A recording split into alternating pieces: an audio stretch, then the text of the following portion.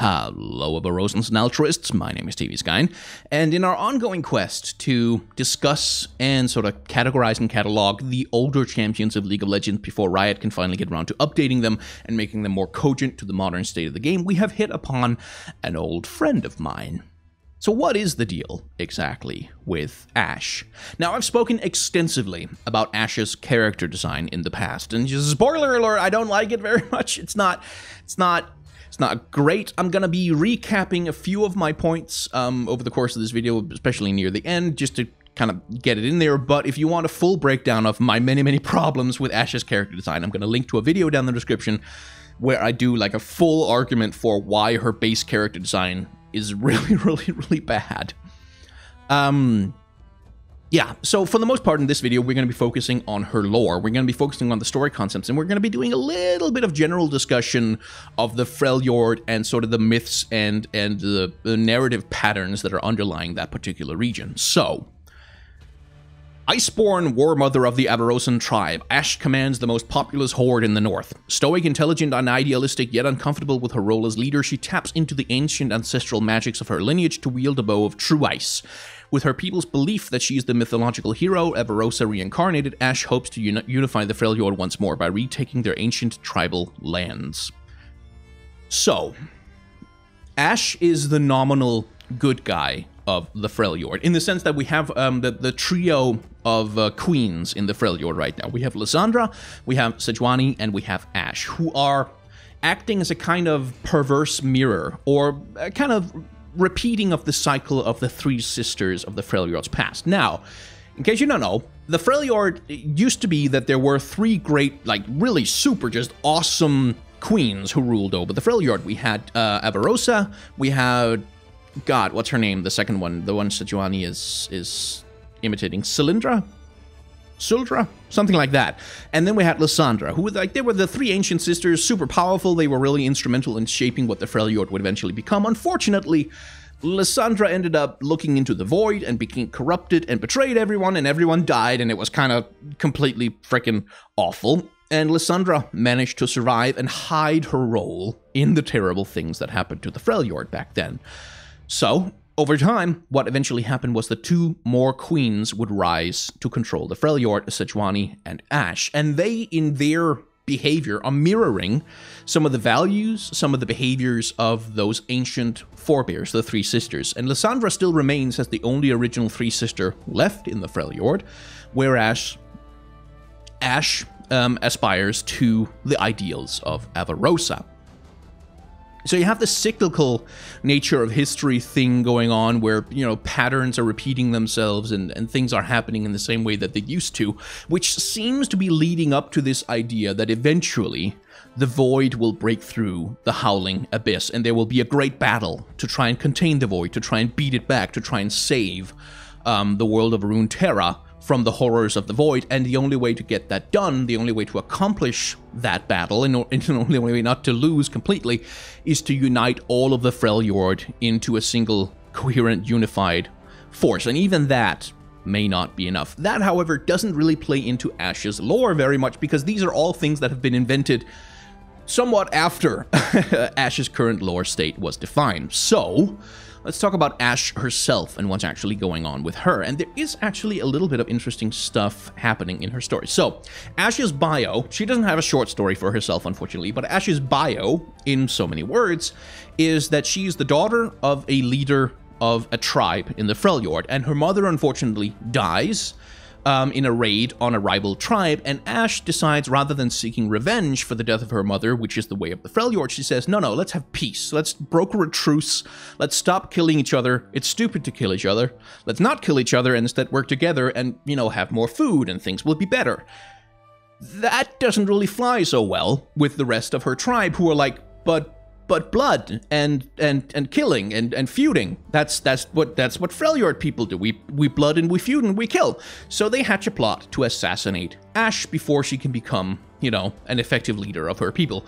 Mind you, she Ashe is about 15 at this point, so it's like they're, they're being kind of dicks to a very young girl who's just lost her mother. But that's the Freljord way. The assassins attack Ashe, um, but unfortunately she's able to avoid their ambush because of a warning from a great hawk that flies above her. And the hawk, eventually, as she's fleeing from the assassins, she follows this hawk, and it leads her to a cairn of stones, which is a burial place.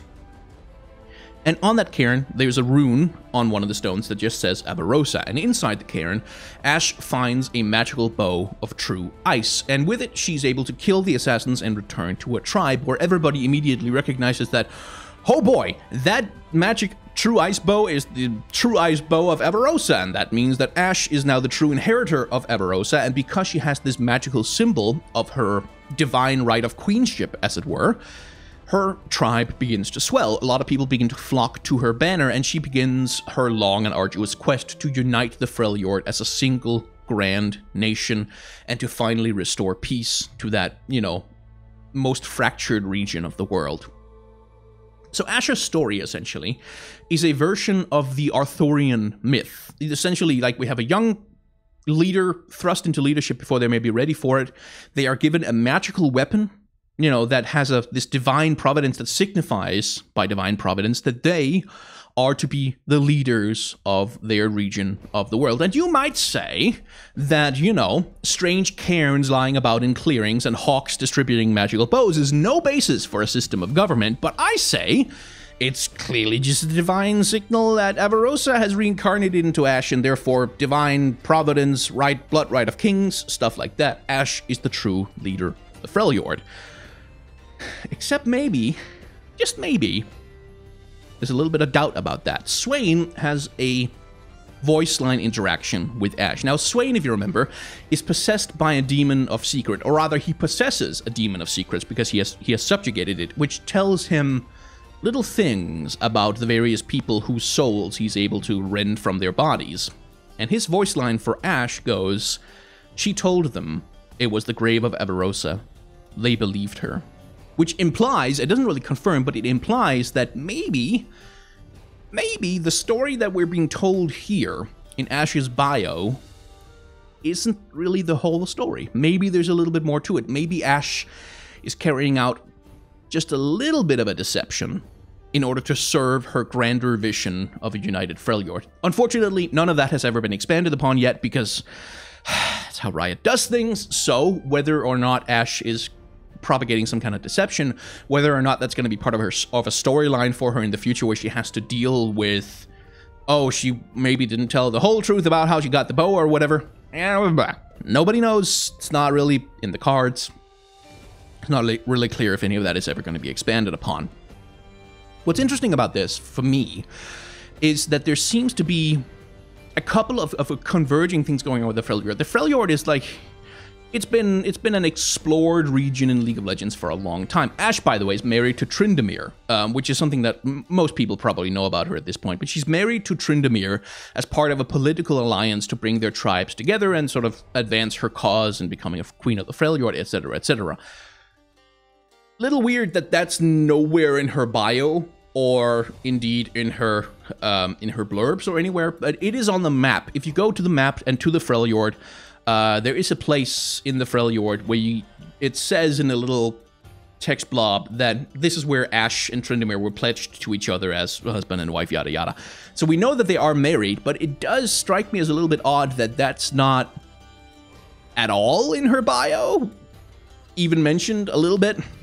And that's sort of the thing about older champions like this is that because like the whole Ashe and Tryndamere marriage thing is part of a lore event that happened way the heck back in the day, like really early days of League of Legends, that was a whole event thing going on where Ashe was married to Tryndamere, and as part of that in-game lore event, they both got skins where it's King Tryndamere and Queen Ashe.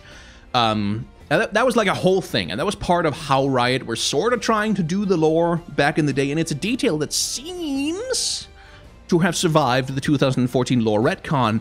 But the reason I'm, I'm kind of focusing on it is that it's like this whole lore thing here is already I don't know why they wouldn't update it to reflect that. Like why it wouldn't be anywhere. Like she has a related champion in Tryndamere, but it's not mentioned. I mean, and the, and the point of me bringing it up is the Freljord feels a little bit divided between uncertain priorities because on the one hand we have the whole Lissandra storyline where she is still terrified of the void eventually consuming Runeterra, and she's maybe working to delay the void from consuming Runeterra, or at least delaying it as long as possible. But once it comes, there's a non-zero chance that Lissandra will be on the side of the void. And that kind of feels like it's supposed to be the main storyline of the Freljord these days, is the whole, oh, the Void is coming, the Void is coming, we have to be terrified of the Void and stuff, because that's, Gnar has been retconned to have his storyline tie into the emergence of the Void in the Howling Abyss, you know, many thousands of years ago. And Nunu and a lot of their storyline, uh, Nunu, Nunu and uh, Willump, a lot of their storyline is about, you know, the Void is coming, gotta be ready for the void because the void is bad and it's it's gonna come and it's gonna destroy things. And then on the other hand, we have this other storyline that's going on, which is this whole Three Sisters cycle of history, where Ashe is the nominal good guy working to unite the Freljord, and Sejuani is sort of the, you know, punchy troublemaker who just wants to punch problems until they go away, and Lissandra is the evil schemer behind the scenes who has a secret agenda and stuff like that. And those two things don't really feel unified in the modern lore state of the Freljord. And that's perhaps not so much of a surprise, if we're honest, because again, League of Legends lore is a little bit of a patchwork mess. Insofar as they're related to each other, it seems to me that what Riot are driving at is that Ashe, her storyline, her role is to unite the Freljord eventually, manage to get them all together, and then it's going to turn out, holy crap, the Void is coming, and Lissandra is going to manipulate her into just throwing her army at the Void for as long as possible in order to delay its emergence? Maybe? I'm not, it's, it's really, how exactly these two storylines are supposed to mesh together is not really clear because it hasn't really been explored. What is, like, because the Void is a world-ending threat. Like, it's literally, it's gonna consume the entirety of Runeterra once it finally manages to break through and fully emerge into into into Runeterra. Like that's that's part of the threat of Icathia. It's part of the threat in the Freljord, and it's something that Riot have been putting more and more focus on recently in, in exploring the ways in which the Void is threatening the fabric of reality on Runeterra. And like when you have that world-ending clock just hanging over your head and ticking, ticking, ticking away, the trouble with a world ending like this is, oh my god, it's, it's the end of the world, apocalyptic threat hanging over the head of everyone, is that all other conflicts become petty by comparison. Right? It's like, oh, you're fighting over who gets to call themselves king of this little bit of land. Like, literally, the whole world is going to end and you're fighting over this nonsense. So it's kind of hard to get invested in the whole, oh, can Ashe unite the tribes of the Freljord thing, unless there's some kind of clear through line connecting that storyline to what's going on in the Howling Abyss right now. Like, is it a thing where Ashe needs to unite the Freljord because only a united Freljord, a full army made of like the what what Iceborns remain in the Freljord and all the Freljordian tribes and all the Freljordian tribesmen and you know whatever remains of the Yetis and whatever remains of like Yordles in the Freljord, like, all of all of it just all of them coming together, can they maybe stop the void? Like, is there a prophecy? Is there some kind of chance? Does Lissandra have a plan that if we throw everything we have at them, maybe we can hold them back for another thousand years? Is that what's going on here? Not really clear. It's not clear how they fit together, and that's going to be one of the projects that Riot will eventually have to work on is reconciling these rather disparate storylines to make it clear what is Ashe's relationship to that Void storyline in this thing. What is Ornn's relationship, by the way, to the Void, eventually erupting into the Freljord and consuming everything he has ever known? How does Anivia and and Volibear, how do they match up to this one? How does Tryndamere feel about it? He already has this kind of demonic corruption thing going on with his rage, stuff like that. Does can we tie that into the Void storyline, or is that a separate thing as well? And how the hell does Sejuani relate to any of it? It's all very fractured. It's all very sort of, well, we got this storyline here and this that storyline over there. Whole lot of different stuff going on. But like I said, once you have the threat of the apocalypse hanging over everything, eventually you have to clarify how all the other stuff ties into that because it overshadows everything. Like the the, the threat of the apocalypse is an all-consuming narrative threat. Beyond, it's the same thing with um. If you think of something like Dragon Ball Z, once Goku is a Super Saiyan, it's like what the hell is going to threaten him, right? Like it's it's it's it's the problem of constantly escalating power levels, and once you get to the power level of this is going to end the world, like Vegeta threatens to destroy the entire planet once upon a time. Oh my God, he's going to destroy the entire planet, and then they fight Frieza, who threatens to destroy the entire planet and also a bunch of other planets, and it's like yeah, but like that's still just going to end the world, and then it's Cell, he's going to destroy the planet as well, um, but then before him it's the androids, oh they're going to destroy the planet it's the trouble of, of once you get to the apocalyptic scale, it's really hard to escalate the stakes beyond that, and, and all other stakes feel insignificant by comparison. there's also, by the way, yes, there's a little bit, uh, it's not 100% clear if uh, Journey into Freljord, which, which is uh, Quinn and Valor's um, little storyline here, whether it's completely canon anymore, but it mentions Ashe briefly. It's essentially Quinn doing a scouting mission for Demacia into the Freljord, where she talks about how, oh hey, uh, Ashe is a pretty good leader, y'all. She's pretty cool. She does she she does good leader stuff, and my bird likes her. And then they kind of move on to talk about Sejuani and Lissandra. Not there's not really a lot there. It's it's mostly just it was mostly just a little exploratory piece I think to kind of establish some of the terms of the Freljord in, in, in the League of Legends lore, it doesn't really do very much. Which leads us on to her character design. Now, like I said, I've already discussed her character design at length. I'm not going to be spending a whole bunch of time on it, but TLDR, if you don't want to go and watch the other video, she's a lady with her tits out in a, in a miniskirt, and she lives in the Freljord, and she's the queen of the Freljord but she looks like a forest ranger from some kind of Warcraft high fantasy thing. Which makes sense because Ashe is literally the Drow Ranger from Dota, the original Dota, the original Warcraft 3 mod, and the Drow Ranger was essentially an adapted version of the Night Elf, uh, of uh, the Night Elf Archer character model. so it really, it's a lot of what Ashe is even today harkens back to that history, to that origin in Dota, and it really shows because she doesn't like she's literally hanging out in like a blizzard on top of a mountain, and she's a tiny little mini skirt, and the titties out, and her thighs, and her clothes don't like. Freljord aesthetics are pretty well established at this point. It's a lot of fur, it's a lot of metal, it's a lot of thick leather, it's a lot of like, you, you know, big baggy pants and trousers because you dress for the environment in which you live. Ashe doesn't look like her clothes were made by people from the Freljord. Like, it doesn't look like a Freljord tailor was the dude who came up with that outfit. It looks like it's the came it's like Demacian, maybe, but it really doesn't look like anywhere in the League of Legends world because again, it's an ancient character design that has never been updated to fit her current state of the lore. And that's really the crux of my like I don't really care that she's sexy, by the way. That's not really the thing she's not oh, she's not allowed to be sexy. No, no, whatever, fine. I don't care that she's sexy. I don't care that she's sh showing skin from like, oh, women are not allowed, to, not allowed to show skin. I care that she's showing skin because she's showing skin in a blizzard. Which is dumb. Like, it's just, like, why wouldn't she wear some clothes that are comfortable to wear in the environment that she lives in?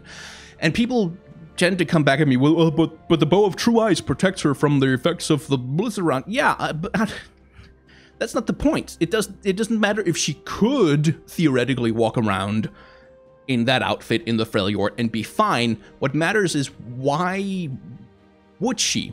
If if if it's supposed to be some kind of political theater where look how I can walk through a blizzard without clothes and be fine. That's why I'm a good leader of the Freljord. That's not touched on anywhere in her lore. It's never explored. It's never even suggested that Ashe might be given to that kind of showing off and that she relies on that kind of theater in order to preserve her power. That might be an interesting way to go. Like if you really desperately need to justify the design, sure, I guess you could do that, but that's not in there.